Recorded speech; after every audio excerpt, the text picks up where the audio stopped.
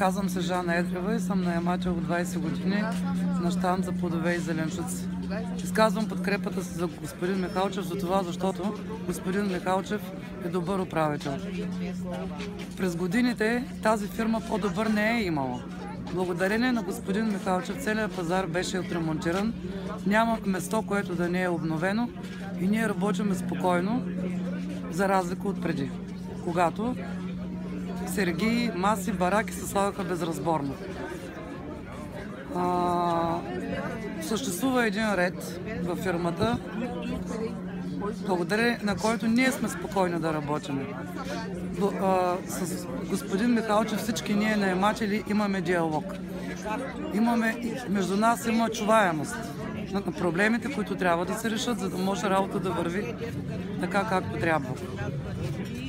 А, какво още да кажа? Наистина фирмата по-добър управител не е. Какви мерки смятате да предприемете от тук нататък? От тук нататък какво?